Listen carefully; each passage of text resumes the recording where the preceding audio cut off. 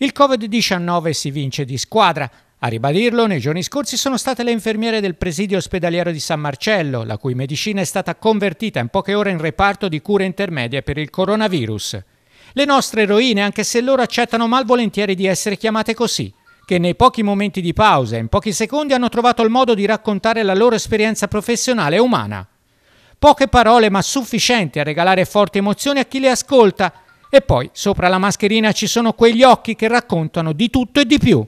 Eh, come operatori sanitari vogliamo inviare un pensiero di vicinanza veramente sentito a tutte le persone colpite dal Covid, non solo gli ammalati e i loro familiari, ma anche quelli preoccupati per il futuro occupazionale. Personalmente devo dire che mi ha segnato profondamente negli affetti soprattutto familiari perché essendo infermiera Covid in un reparto appunto Covid-19 io ho dovuto eh, scegliere di eh, far spostare mio figlio e farlo andare ad abitare dai, dai nonni. Devo dire che all'inizio avevamo tanta paura eh, pensavamo di non essere adeguate anche a, a, a, a, poter assistere questa tipologia di malato.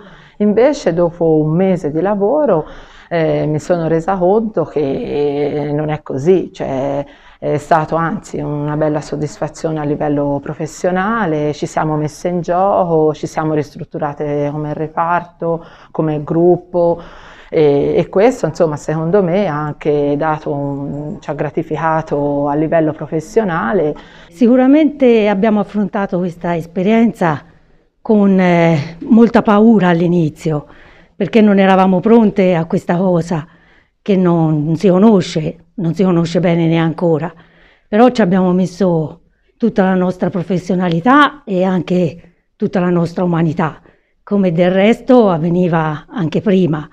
Non siamo infatti degli eroi, siamo dei professionisti. Io sono un pochino la coordinatrice di questa squadra che sta lottando contro questa brutta malattia e che cerca di dare il meglio di sé e così sta facendo, sta facendo veramente.